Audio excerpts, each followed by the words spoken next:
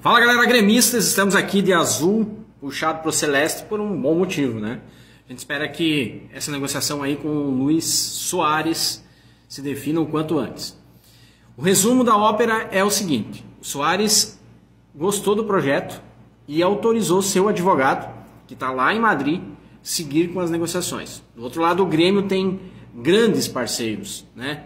Três, quatro, talvez até mais empresas que vão é, propor, né, custear esse, valor do salário e das premiações em troca de um marketing coletivo, ou seja, onde eles possam utilizar também, além do Grêmio, o nome do Soares.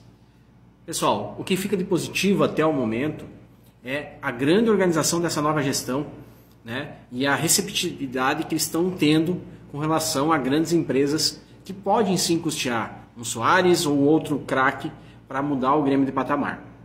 O que chama atenção é a transparência que os diretores estão fazendo, né? É, o tempo todo explanando cada etapa e fica definido, parece, com prazo deste final de semana para a definição né, final. Ou o Grêmio segue com as tratativas, ou o Grêmio informa que o Soares realmente aceitou a proposta.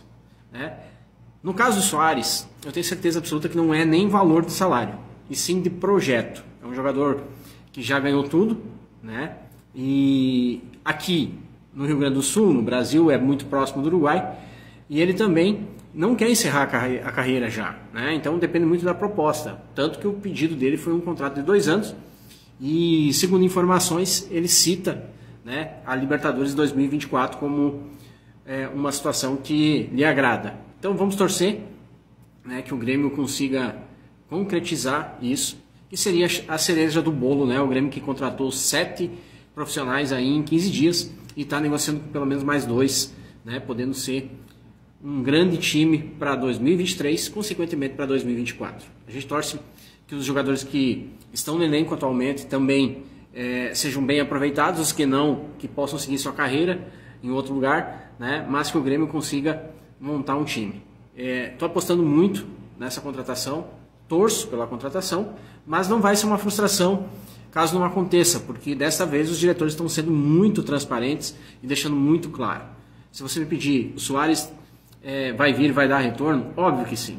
Para quem estava torcendo, para o Diego Souza, totalmente fora de forma. E o Diego Souza mesmo assim nos deu números aí na Série B, obviamente, né? Por que não torcer para o Soares, que estava jogando a Copa do Mundo até esses dias? Valeu, aquele abraço, vamos ficar na torcida, sempre pelo Grêmio, todos pelo Grêmio. Siga os meus canais aí e tamo junto.